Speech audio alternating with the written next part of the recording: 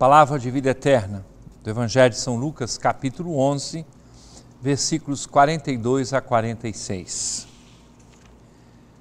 Naquele tempo disse o Senhor: Ai de vós, fariseus, porque pagais o dízimo da hortelã, da arruda e de todas as outras ervas, mas deixais de lado a justiça e o amor de Deus. Vós deveríeis praticar isso sem deixar aquilo. Ai de vós, fariseus, porque gostais do lugar de honra nas sinagogas e de ser descumprimentados nas praças públicas. Ai de vós, porque sois como túmulos que não se veem, sobre os quais os homens andam sem saber. O mestre da lei tomou a palavra e disse: Mestre, falando assim, insultas também a nós? Jesus respondeu: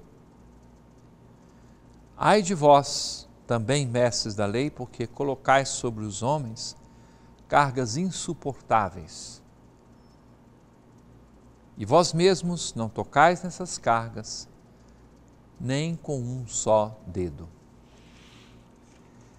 Caríssimo irmão, caríssima irmã, Nosso Senhor, com a Sua palavra, ele forma discípulos, seguidores dessa palavra e pessoas que acolhem a realidade do reino de Deus e querem nela permanecer.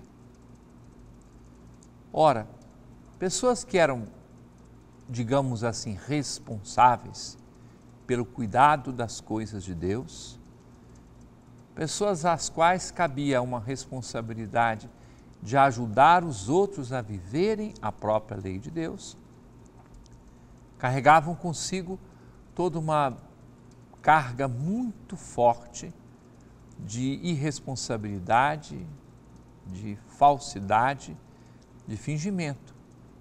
E essas pessoas não conseguiam ser autênticas no segmento de Deus, da Sua palavra e da lei. E o confronto de Jesus com essas pessoas é muito duro. Mas o questionamento que o Senhor faz aplica-se também a cada um de nós. Podemos ser limitados, quem sabe frágeis.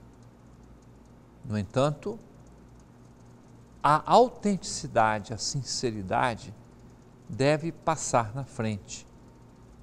Quando somos sinceros, o resultado é que nós nos desdobramos para superar as eventuais falhas, os pecados, com o esforço da conversão, que deve corresponder ao que vem na frente, a graça da conversão, que é presente do próprio Deus.